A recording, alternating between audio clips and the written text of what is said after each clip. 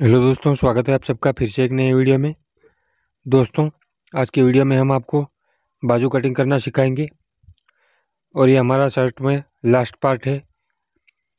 इससे पहले के पार्ट आपने नहीं देखे तो हमारे चैनल पर देखने लेना। हमने फ्रंट और बैक के पार्ट टू पार्ट वीडियो बनाए हैं। इसमें दोस्तों हम बाजू कटिंग करना सिखाएँगे।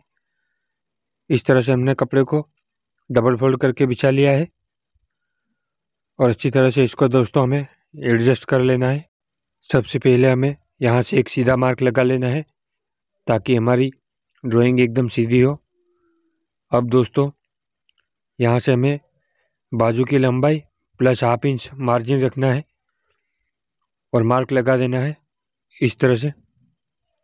हाफ़ इंच एड कर लेना है दोस्तों, बाजू की लंबाई में। सेम वही मार्क हम ऊपर की तरफ़ भी लगा देंगे। अब दोस्तों, यहाँ से हमें दो इंच फोल्ड करने के लिए रखना है। अगर आप चाहें तो डेढ़ इंच भी रख सकते हैं। और यहाँ से करीब हम चार इंच में दो सूद कम पे मार्क लगाएँगे। और यहाँ से हमें सवा आठ इंच रखना है। अगर बगल हमने आठ इंच रखी है तो और हमने बगल सवा आठ इंच रखी है तो यहाँ पे हमें साढ़े आठ इंच पे लगाना है। अब दोस्तों, इस तरह से हमें इसको सीधा कर लेना है स्केल की मदद से। दोस्तों, ना समझ आए तो कमेंट करने लेना हम दूसरी वीडियो बना देंगे। यहाँ से हमें बाजू की फिटिंग का हाफ़ कर लेना है और थोड़ा मार्जिन ऐड कर लेना है, इस तरह से। और इस वाले मार्क से हमें मिला लेना है। और यहाँ गुलाई दे देनी है दोस्तों। ये हमारी ड्राइंग हो चुकी है दोस्तों। अब इसको हम मार्क के हिसाब से काट लेंगे। यहाँ से हमें बिल्कुल गोलाई देनी है, इस तरह से। और यहाँ पर हमें मार्क के हिसाब से कटिंग कर लेना है। इस तरह से कुछ हमारा शेप आएगा दोस्तों बाजू का।